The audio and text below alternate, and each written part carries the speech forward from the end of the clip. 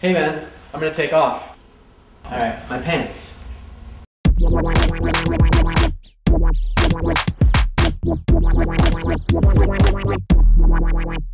What's up, dudes? This is Hack College, coming at you straight from the Compton, hanging out with all of my bros without any hoes.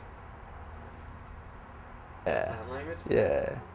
That's sign language for Hack College. Facebook had a bit of a kerfuffle last week. A bug in their private messaging system started sending the messages every which way. A few people started receiving random Facebook messages from people they didn't even know. These ranged from anything from like a casual, hey, what's up, to, Hey dude, good thing this is a private Facebook message because my dog just licked your Like I said, good thing this is a private Facebook message.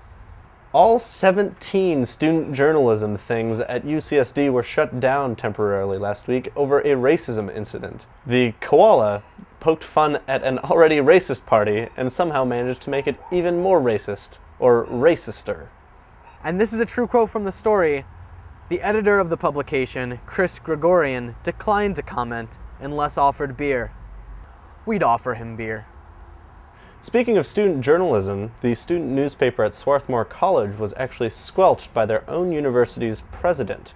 The paper is not allowed to report on the dean selection process interviews, even though every single student can attend. Around now, schools are solidifying their 2010 to 2011 school budgets, which also means they're releasing the new tuition rates for next year.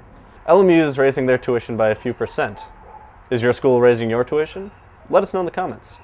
We think it's funny that schools take pride in reporting the amount that they reduce the increases in their tuition.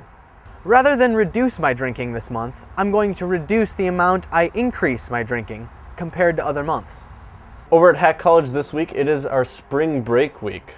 Spring break! Yes, even spring break can be hacked, even if you're not going to Cabo.